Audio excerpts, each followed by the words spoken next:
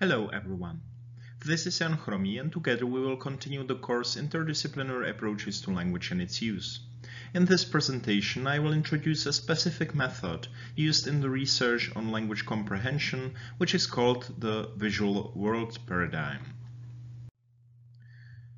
This experimental technique is based on the idea that our eye movements can inform us not only about the way how we process written language, but also about the auditory language processing.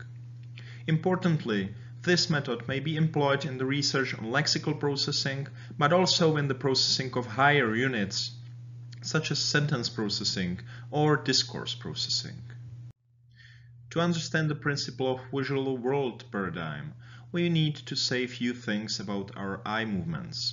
We will return to this topic in two separate presentations which will focus on eye movements in reading, but right now it is important to say that we extract information from a visual scene or from a text during the so-called fixations. Eyes do not move during fixations and a fixation typically lasts several hundred milliseconds. Between the two fixations we perform saccades. These are rapid eye movements which last several tens of milliseconds and we do not extract any information uh, while conducting them. So how does the visual world paradigm work? Participants always see a certain visual scene.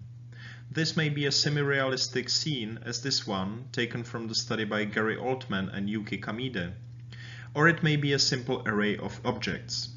Also, the participants are presented with auditory stimuli.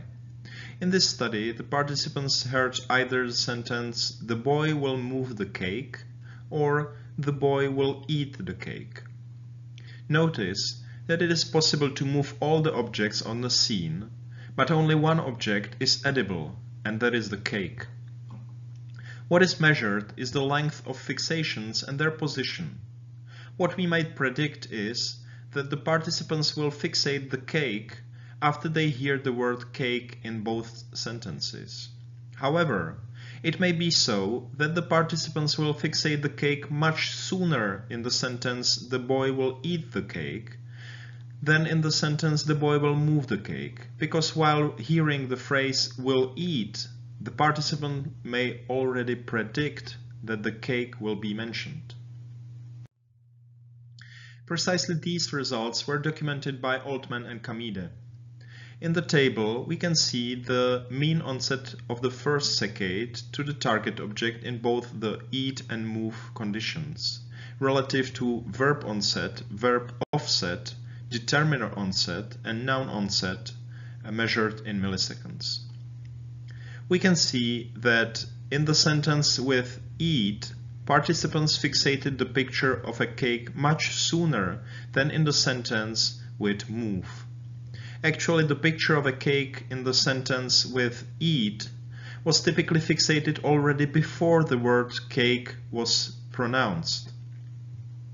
In the plot, there is the cumulative probability of fixating the cake as a target object or other objects as distractors.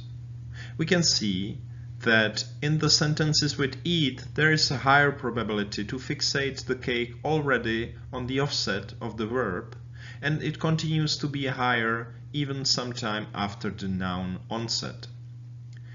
This is a clear demonstration of predictive processing. Participants are fixating cake earlier when they hear the sentence the boy will eat the cake because they predict the sentence ending based on the verb eat.